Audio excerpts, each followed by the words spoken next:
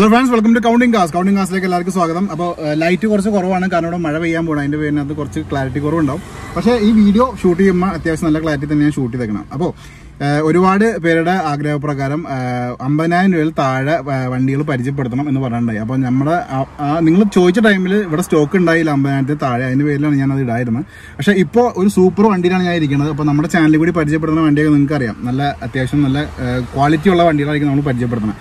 അപ്പോൾ അമ്പതിനായിരം രൂപ താഴെയിൽ കിട്ടാവുന്ന ഏറ്റവും നല്ല ക്വാളിറ്റിയുള്ള ഒരു വണ്ടിയാണ് നിങ്ങൾ ഇപ്പോൾ ഞാൻ ഇരിക്കണ ഈ ഒരു ഇൻഡിക അപ്പോൾ ഇത് നല്ല സൂപ്പർ വണ്ടിയാണ്. നിങ്ങൾക്ക് ആ ഫ്രണ്ട് കൺസോളും കാര്യങ്ങളൊക്കെ കാണാം. ഞാൻ വിശദമായിട്ട് തന്നെ കാണിക്കുന്നുണ്ട്. അപ്പോൾ ഈ വണ്ടിയുടെ അമ്പതിനായിരത്തിൽ താഴെ എത്രയാണ് റേറ്റ് അങ്ങനത്തെ കാര്യങ്ങളൊക്കെ ഈ വീഡിയോന്റെ ഇടയിലും അതുപോലെ എൻഡിലൊക്കെ ആയിട്ട് ഞാൻ പറഞ്ഞേക്കാം. അപ്പോൾ നിങ്ങൾ ഫസ്റ്റ് തന്നെ ഈ വീഡിയോ സ്കിപ്പ് ചെയ്യാതെ ഫുള്ള് എന്റെ വരെ ഒന്ന് കാണണം. കാരണം ഈ ഈ വണ്ടി അത്രയ്ക്ക് ഇന്റീരിയർ ആയാലും എക്സ്റ്റീരിയർ ആയാലും അത്യാവശ്യം നല്ല ക്വാളിറ്റി ഉള്ള വണ്ടി തന്നെയാണ്. ഓടിക്കാനാണെങ്കിൽ ഒന്നും പറയാനില്ല ഞാനിപ്പോൾ ഓടിച്ചിട്ടേ ഞാൻ ഞാനിപ്പോൾ വണ്ടിയുടെ ഉള്ളിൽ തന്നെയാണ്. ഞാൻ ഒരു റൈഡ് കഴിഞ്ഞിട്ട് വന്നൊക്കെയാണ് അത്യാവശ്യം നല്ല രീതിയിൽ തന്നെ നിങ്ങൾക്ക് കംഫോർട്ട് തരുന്നൊരു വണ്ടിയാണ് ഈ ഒരു ഇൻഡിക്ക അപ്പോൾ ഇതിന്റെ എക്സ്റ്റീരിയർ കാണിക്കുമ്പോൾ അവിടെയൊക്കെ ടച്ച് ആൻഡ് പെയിന്റും കാര്യങ്ങളൊക്കെ നിങ്ങൾക്ക് തോന്നിയേക്കാം. കാരണം സ്ക്രാച്ച് ഒക്കെ ഉണ്ടാവും. രണ്ടായിരത്തി ആറ് മോഡലാണ് രണ്ടായിരത്തി പതിനാറ് മോഡലായിട്ട് ആരൊന്നും കമ്പയർ ചെയ്തത് ഞാൻ എടുത്ത് പറയണം. അപ്പോൾ നമുക്ക് വീഡിയോ ഫുള്ള് കണ്ടിട്ട് തിരിച്ചു വരാം. ബാക്കി കാര്യങ്ങളൊക്കെ ഞാൻ സംസാരിക്കാം. നിങ്ങൾ ഈ കണ്ടുകൊണ്ടിരിക്കുന്നതാണ് ടാറ്റ ഇൻഡിക്ക അപ്പോൾ ഈ ഇൻഡിക്കനെ കുറിച്ച് പറയുമ്പോൾ ഇത് രണ്ടായിരത്തി ആറ് മോഡൽ രണ്ടായിരത്തി ഏഴ് രജിസ്റ്റേർഡ് വണ്ടിയാണ്.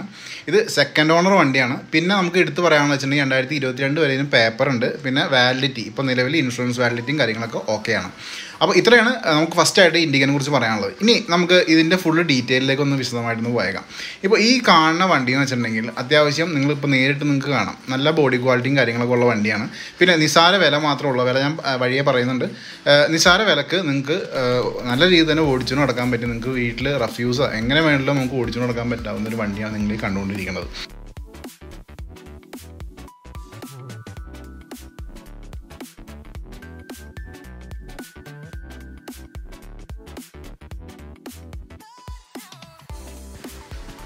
നമുക്ക് ഇതിന്റെ സ്പെസിഫിക്കേഷൻ കാര്യങ്ങളിലേക്ക് ഒന്ന് പോയേക്കാം. ഇതിന്റെ മാക്സിമം പവർ വരുന്നത് sixty five P S at five thousand R P എമ്മിൽ കിട്ടും. അതുപോലെ സീറ്റിംഗ് കപ്പാസിറ്റി ഫൈവ് ആണ് ട്രാൻസ്മിഷൻ മാനുവൽ ആണ് ഫ്യൂൽ ടാങ്ക് മുപ്പത്തേഴ് ലിറ്ററിന്റെ ഫ്യൂൽ ടാങ്ക് കിട്ടുന്നുണ്ട് സിറ്റി മൈലേജ് നമുക്ക് നോക്കുകയാണെങ്കിൽ ഒരു പതിനഞ്ച് കിലോമീറ്റർ വരെ മൈലേജ് കാര്യങ്ങളൊക്കെ പറയുന്നുണ്ട്. ഇനി എഞ്ചിൻ ഡിസ്പ്ലേസ്മെന്റ് നോക്കുകയാണെങ്കിൽ ആയിരത്തി ഒരുന്നൂറ്റി തൊണ്ണൂറ്റി മൂന്ന് സി സി ആണ് വരുന്നത്. ടോർക്ക് നോക്കുകയാണെങ്കിൽ നൂറ്റി രണ്ട് എണ്ണം മറ്റ് two thousand six hundred R P M tyre നിങ്ങൾ നോക്കുകയാണെങ്കിൽ ടയറിന് ബിലോ ഫിഫ്റ്റി പെർസെന്റ് ടയർ ബാക്കിയുള്ളൂ എന്ന് നമുക്ക് എടുത്ത് പറയാവുന്നതാണ്. ഞാൻ നിങ്ങൾക്ക് വേണ്ടി ഒരു ക്ലോസ് ലുക്ക് തരുന്നുണ്ട് ഫ്രണ്ട് ഭാഗത്തിന്. നിങ്ങൾക്ക് ഇവിടെ നോക്കാം. കാര്യമായിട്ടുള്ള ചളക്കോ കാര്യങ്ങളോ ഒന്നും നിങ്ങൾക്ക് ഇവിടെ കാണാൻ പറ്റില്ല. ചെറിയ രീതിയിലുള്ള ഒരു സ്ക്രാച്ചും കാര്യങ്ങളൊക്കെ ഉണ്ടാവും. പിന്നെ നമുക്ക് പറഞ്ഞിട്ട് കാര്യമില്ല. മോഡൽ ടു തൗസൻഡ് സിക്സ് ആണ്. പക്ഷേ നമ്മൾ ഓവറോൾ നോക്കുകയാണെങ്കിൽ വണ്ടി സൂപ്പറാണെന്ന് തന്നെയാണ് നമുക്ക് എനിക്ക് എടുത്ത് പറയാനുള്ളത്. കാരണം നിങ്ങൾക്ക് എന്റെ എഡ്ജും കാര്യങ്ങളൊക്കെ ഇവിടെ കാണാവുന്നതാണ്. ഒരു രീതിയിലുള്ള നമുക്ക് ഈ ഒരു നിസ്സാര പൈസക്ക് ഇത്രയും നല്ലൊരു കണ്ടീഷൻ കിട്ടുന്ന വണ്ടി കിട്ടുന്നത് അപൂർവമായിരിക്കും. ബാക്ക് ടയർ ടയർ നമുക്ക് സിക്സ്റ്റി പെർസെന്റ് ഉണ്ട് നമുക്ക് എടുത്ത് പറയാവുന്നതാണ്. റിയർ ഭാഗത്തേക്ക് വരുമ്പോൾ നമുക്ക് റൂഫിൽ തന്നെ ആ ഒരു കമ്പനി സ്പോയിലർ വിത്ത് ടെയിൽ ലാമ്പും കാര്യങ്ങളൊക്കെ നമുക്ക് ഇതിന്റെ ഒപ്പം തന്നെ വരുന്നുണ്ട്.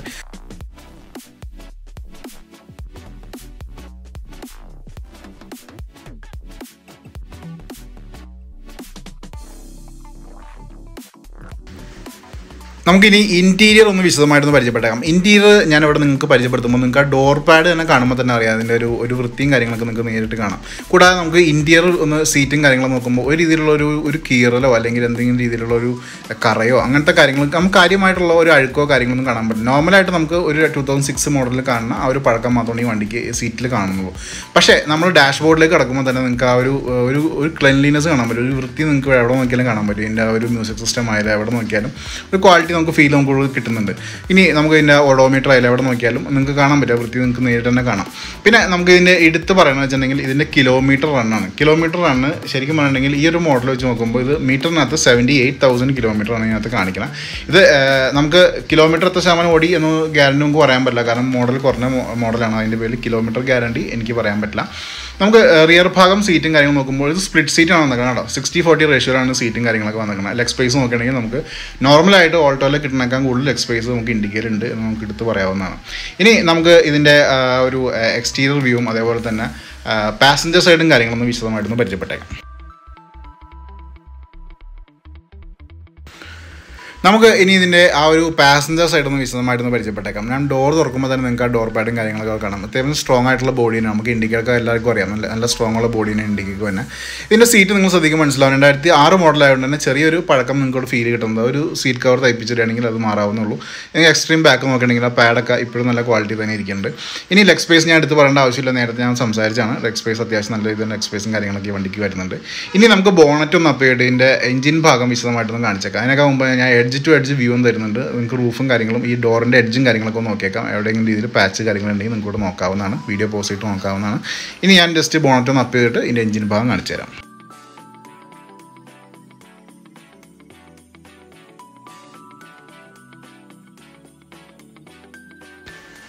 അപ്പോൾ നിങ്ങൾ ഈ കാണാണ് ഈ ഒരു ടാറ്റ ഇൻഡിക്കയുടെ എഞ്ചിൻ ഭാഗം. ഇത് ഒരു പെട്രോൾ എഞ്ചിനാണ് ഞാൻ എടുത്ത് പറയുന്നത് പെട്രോൾ വേരിയന്റ് ആണ്. പിന്നെ നിങ്ങൾ അത്യാവശ്യം ആ ഒരു പവർഫുൾ ബാറ്ററി കാണാൻ പറ്റും. ഇത് റീപ്ലേസ് ചെയ്തിട്ട് വലിയ നാളൊന്നും ആയിട്ടില്ല. അതുകൊണ്ട് തന്നെ പവർ ഡ്രോപ്പും കാര്യങ്ങളും നിങ്ങൾക്ക് കിട്ടുന്നില്ല. പിന്നെ നമുക്കിവിടെ നോക്കുകയാണെന്നുണ്ടെങ്കിൽ ഇതിന്റെ എഡ്ജ് ടു എഡ്ജ് വ്യൂ ഞാൻ കാണിച്ചത് നിങ്ങൾക്ക് എവിടെ നോക്കിയാലും ആ ഒരു ചെറിയൊരു അഴുക്ക് കാണാൻ പറ്റും. കാരണം ഇപ്പം മഴക്കാലമാണ്. ടയറിന്നൊക്കെ ചെളി അടിച്ച് കാരണമാണ്. അല്ലാതെ വേറൊരു പ്രശ്നവും ഈ വണ്ടിക്ക് ഇപ്പോൾ നിലവിലില്ല. ഇത് ഫ്ലഡും കാര്യങ്ങളൊന്നും അല്ല. നമ്മൾ എടുത്തു പറയുകയാണ് ഇതിൽ കൂടി നമ്മുടെ ചാനലിൽ കൂടി അല്ലെങ്കിൽ ഷോറൂമിൽ കൂടി ഒരിക്കലും ഫ്ലഡ് വണ്ടി ഒന്നും പരിചയപ്പെടുത്താറില്ല. നിങ്ങൾക്ക് ഈ ബോണറ്റിന്റെ ആ ഒരു ഡൗൺ സൈഡ് നോക്കിയാൽ മനസ്സിലാവും അതിന്റെ ക്വാളിറ്റി മനസ്സിലാവുണ്ടാവും ഒരു രീതിയിലുള്ള കിയറിലോ കാര്യങ്ങളോ ഒന്നും വന്നിട്ടില്ല. അത്രയ്ക്ക് വെൽ മെയിന്റൈൻഡ് ആയിട്ടുള്ള വണ്ടി തന്നെയാണ് ഈ ഒരു നിങ്ങൾ കണ്ടുകൊണ്ടിരിക്കുന്ന ഈ ഇൻഡിക്ക ഇനി നമുക്ക് ഇതിന്റെ ബൂട്ട് സ്പേസ് കാര്യങ്ങളൊന്ന് പരിചയപ്പെട്ടേക്കാം. ഇരുന്നൂറ്റി പതിനേഴ് ലിറ്ററിന്റെ ബൂട്ട് സ്പേസ് ആണ് ഈ വണ്ടി പറയണം അപ്പോൾ നമുക്ക് എത്ര ശതമാനം ഉണ്ട് എന്നൊന്ന് നോക്കിയേക്കാം.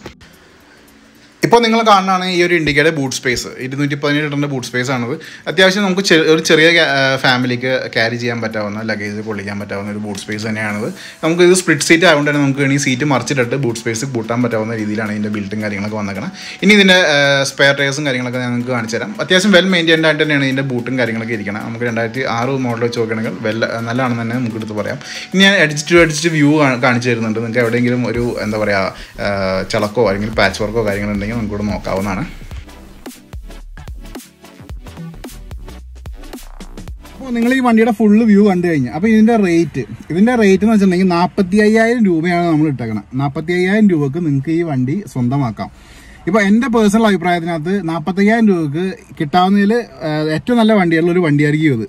അപ്പോൾ ഈ റേറ്റ് നെഗോഷിയേറ്റ് അല്ല നെഗോഷിയബിൾ അല്ല. കാരണം പറയാൻ കാരണം വെച്ചിട്ടുണ്ടെങ്കിൽ നാൽപ്പത്തയ്യായിരം രൂപക്ക് അതിനുള്ള മുതൽ ഈ വണ്ടി ഉണ്ട് വെറും എഴുപത്തി എണ്ണായിരം കിലോമീറ്റർ മാത്രമാണ് ഈ വണ്ടി ഇപ്പോൾ നിലവിൽ കവർ ചെയ്തിട്ടുള്ളത്. അത് എടുത്തു പറയേണ്ട കേസാണ്.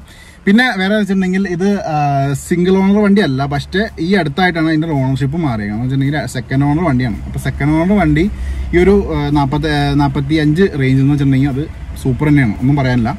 പിന്നെ വേറെ എടുത്തു പറയുന്നത് വെച്ചിട്ടുണ്ടെങ്കിൽ ഇതിന്റെ നെയിം ചേഞ്ചും കാര്യങ്ങളൊക്കെ ഉണ്ടാവും. അപ്പോൾ നെയിം ചേഞ്ചിന്റെ ഡോക്യുമെന്റേഷൻ ചാർജ് അത് നിങ്ങളുടെ അടുത്ത് നിന്ന് നമ്മൾ ബയേഴ്സിൽ നിന്ന് വേണം. കാരണം ഇതിനകത്ത് ഓണർ വലിയ മാർജിൻ ഇല്ലാതെ ഇനി വണ്ടി സെയിൽ ചെയ്യണം. അപ്പോൾ അതിന്റെ പേരിൽ തന്നെ ഓണറിന് അത് ചിലപ്പോൾ വഹിക്കാൻ പറ്റില്ലായിരിക്കും. അതിന്റെ പേരിലാണ് ഓണർ നമ്മുടെ അടുത്ത് പറഞ്ഞത്.